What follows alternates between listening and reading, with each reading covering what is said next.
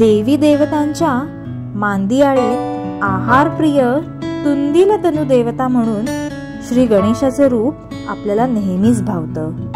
आणि त्यासाठीच बाप्पांच्या स्वागताच्या तयारीत एकवीस मुदकांच्या नैवेद्याचं ताट सजतं.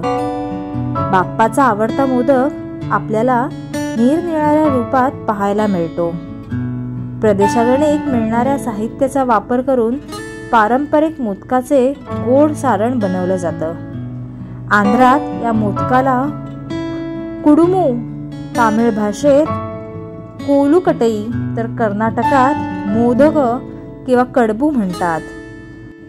गुळ खोबऱ्याचा मोदक बाप्पाच्या आवडीचा प्रसाद. मोदकामध्ये खूप व्हेरिएशन्स बघायला मिळतात. त्यातीलच एक म्हणजे आज आपण कणकेच्या पिठापासून बनवलेले तळणीचे मोदक बघणार आहोत. पाकळ्या न पाडता साचा न वापरता कळीदार मोदक कसे करायचे ते आज आपण बघूया. त्यासाठी मी इथे ओलं खोबरं घेतलेलं आहे. दोन वाट्या ओलं खोबरं आपण गॅसवरती पॅनमध्ये छानपैकी असं भाजून घेऊया. जेवढं आपण ओलं खोबरं घेतलेलं आहे त्याच प्रमाणात आपण गूळही घेणार आहोत. म्हणजे दोन वाट्या खोबऱ्याला आपण दोन वाट्या गूळ घेतलेला आहे. आपण गूळ इथे बारीक चिरून घेतलेला आहे. तुम्ही किसूनही घेऊ शकता. आणि हा गूळ खोबरा छानपैकी आपण मिक्स करून घेऊया. हे सारण एकजीव करून घेऊया. हे सारण सतत हलवत राहायचं जेणेकरून आपला गूळ पटकन विरघळेल. बाप्पाच्या नैवेद्यासाठी हे तळणीचे मोदक तुम्ही अवघ्या अर्ध्या तासापेक्षाही कमी वेळात बनवू शकता.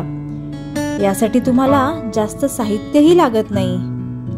उकडीच्या मोदकाचं सारणही या मोदकासाठी आपण वापरू शकतो. आता आपण इथे बघू शकतो आपलं सारण छानपैकी एकजीव झालेलं आहे. आपण इथे गुळाचा वापर केलेला आहे त्यामुळे थोडीशी स्वादासाठी आपण जायफळ पावडर घालून घेतलेली आहे. तुम्ही वेलची पावडरचाही यात वापर करू शकता.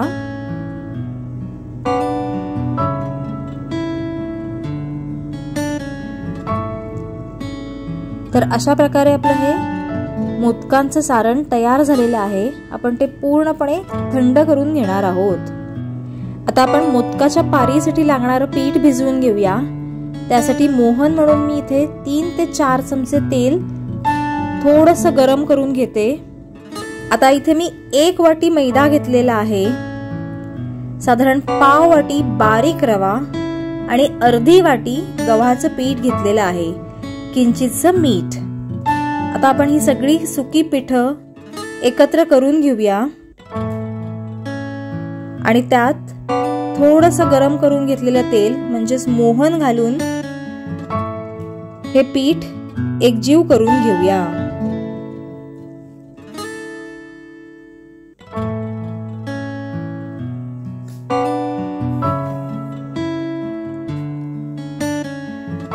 मोहन घातल्याने आपले मोदक छान कुरकुरीत होतात.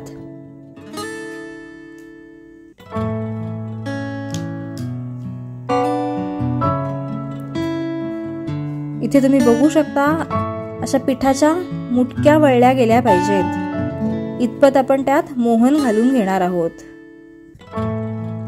आता थोडं थोडं पाणी घालून आपण हे पीठ भिजवून घेऊया.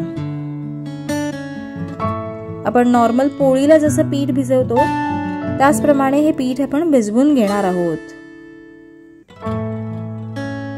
गणेश चतुर्थी म्हटली की बरेचदा घरोघरी गोड पदार्थ केले जातात आणि विशेषतः मोदक.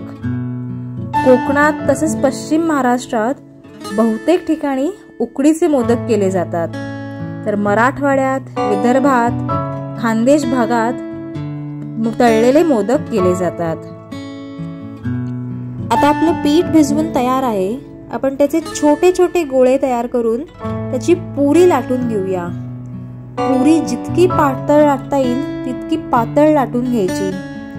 जर का पुरी जाड लाटली गेली तर मोदक खुसखुशीत कुरकुरीत होणार नाही. मोदक मऊ पडण्याची शक्यता आहे. त्यामुळे पोळपाट दिसेल इतपत पुरी पातळ लाटून घ्यायची.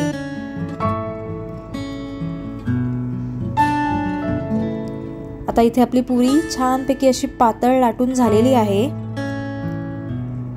आपलं सारणही थंडगार झालेलं आहे. आता आपण ते या पुरीच्या मध्यभागी घालून घेऊया.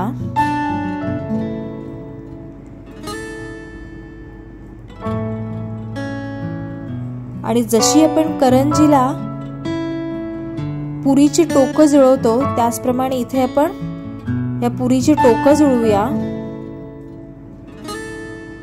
आणि त्याचे सगळे काठ एकत्र करून घेऊया. जसं आपण साडीच्या निर्या काढतो त्याचप्रमाणे हे सगळे काठ एकत्र करून घेऊया. छान असं त्याचं गाठोडं तयार करून घेऊया. त्याला असा पोतलीसारखा आकार येतो. इथे तुम्ही बघू शकता जास्तीचं पीठ असेल ते आपण काढून टाकूया. कळ्या न पाडता कुठलाही साचा न वापरता आपला हा सुबक मोदक तयार झालेला आहे. आता आपण असेच बाकीचेही मोदक तयार करून घेऊया आणि तेलात तळून घेऊया. हे तळलेले मोदक उकडीच्या मोदकांसाठी उत्तम पर्याय ठरू शकतात.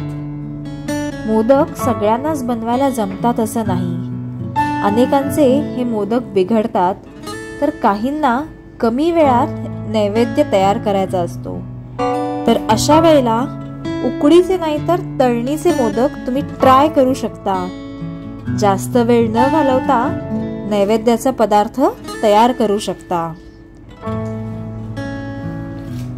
हे तळलेले मोदक छान कुरकुरीत आणि स्वादिष्ट होतात.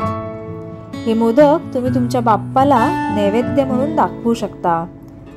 फक्त एक वाटी गव्हाचं पीठ वापरून तळणीचे खुसखुशीत मोदक बाप्पांसाठी पारंपरिक पद्धतीने नैवेद्य म्हणून अर्पण करू शकता.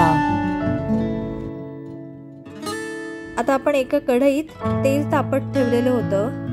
तेल छान तापलं की त्यात असे मोदक सोडून घ्यायचे आणि मंद आचेवर हे मोदक तळून घ्यायचे. मंद आचेवर तळल्याने हे मोदक छानपैकी कुरकुरीत होतात. हे मोदक साधारण आठ ते दहा दिवस छान टिकू शकतात. बाप्पा तुला गोड गोड मोदक घे. बाप्पांच्या नैवेद्यासाठी दहा मिनिटात करा तळणीचे मोदक. कमी वेळात नैवेद्य तयार होईल. आता इथे तुम्ही बघू शकता आपल्या मोदकांना छान असा गोल्डन ब्राऊन कलर आलेला आहे आणि आपले तळणीचे मोदक तयार झालेले आहेत. मोदकांसोबत करंजी सुद्धा हवीच नैवेद्याला. पाकळ्या न पाडता साचा न वापरता कळीदार मोदक तुम्हीही नक्की ट्राय करून बघा. रेसिपी आवडली असेल तर लाईक आणि शेअर जरूर करा. पुन्हा भेटूया अशाच एका नवीन रेसिपी सोबत. धन्यवाद.